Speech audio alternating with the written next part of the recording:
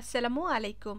আজকে নিয়ে এসেছি ব্রেড পিৎজা বা পাউরুটি পিৎজা এটা খেতে ভীষণ মজার হয়, তবে বলব না এই পিৎজাটা খেতে অরিজিনাল পিৎজার স্বাদের মতো হবে, না এটা অবশ্যই সেই রকমটা হবে না। তবে হ্যাঁ পাউরুটির এই পিৎজাটা খেতে খুবই মজার হয়।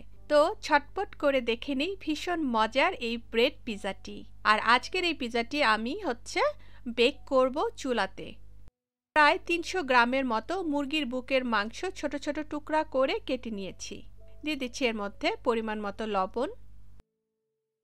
দিয়ে দিচ্ছি এখানে দেড় চা চামচ তান্দুরি মশলা। আপনারা চাইলে নর্মাল গরম মশলাটাও দিতে পারেন। আমি এখানে তান্দুরি মশলাটা দিচ্ছি।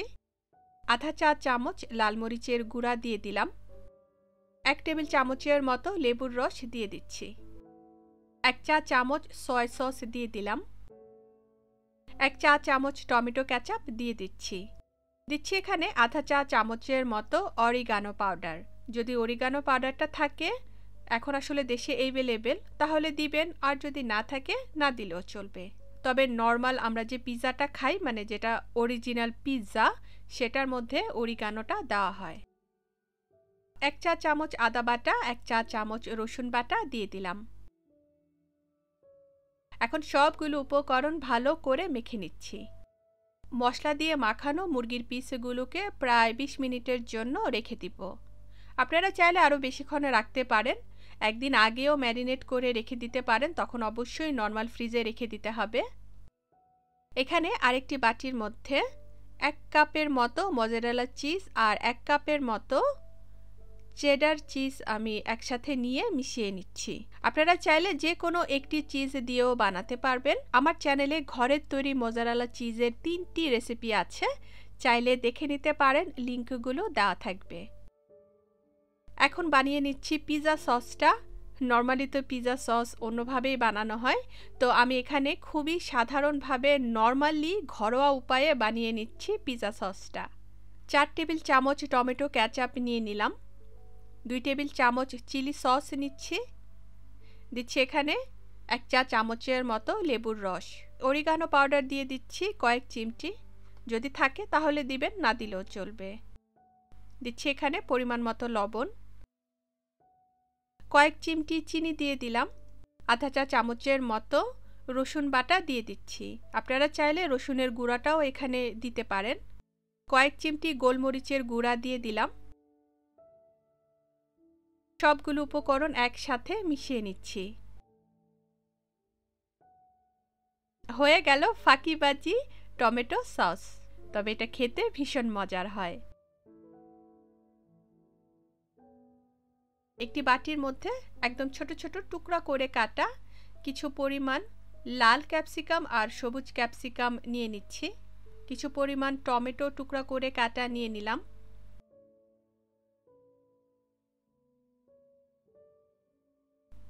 কয়েক চিমটি গোলমরিচের গুঁড়া দিয়ে দিচ্ছি। লবণ দিয়ে দিলাম কিছু পরিমাণ। এক চা চামচের মতো টমেটো ক্যাচাপ দিয়ে দিচ্ছি। আধা চা চামচের মতো অরিগানো দিয়ে দিলাম। এখন সবগুলো উপকরণ ভালো করে মিশিয়ে নিচ্ছি।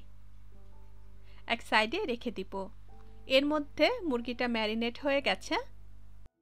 প্রায় বিশ মিনিট পরে চুলায় একটি প্যান নিলাম। চুলাটাকে মাঝারি আঁচে ধরিয়ে দিয়ে দিয়ে দিচ্ছি এর মধ্যে দুই টেবিল চামচ তেল। তেলটা গরম হয়ে গেছে, এর মধ্যে মুরগির পিসগুলো দিয়ে দিলাম।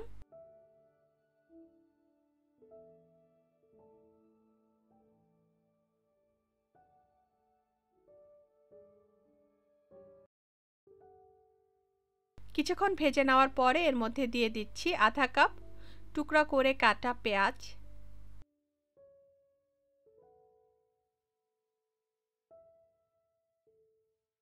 কিছু পরিমাণ পানি দিয়ে দিলাম, প্রায় এক কাপের মতো পানি দিয়ে দিলাম।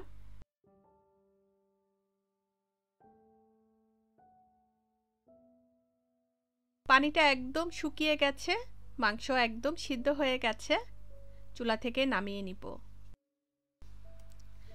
যেহেতু এটা ব্রেড পিৎজা অবশ্যই ব্রেড লাগবে। এখানে প্রথমে এক পিস ব্রেড নিয়ে রেখেছি। ব্রেডটার মধ্যে পিৎজা সস মেখে নিচ্ছি।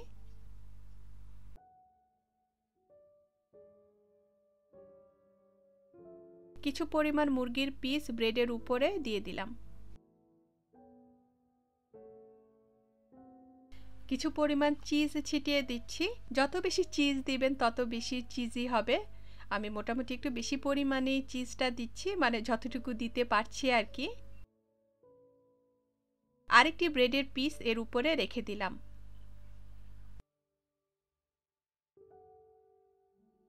এই পিসটার উপরেও পিৎজা সস মেখে নিচ্ছি।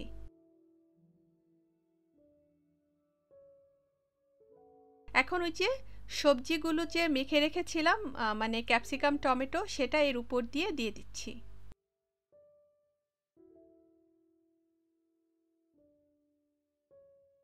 দিয়ে আবারও কিছু পরিমাণ চিজ ছিটিয়ে দিচ্ছি।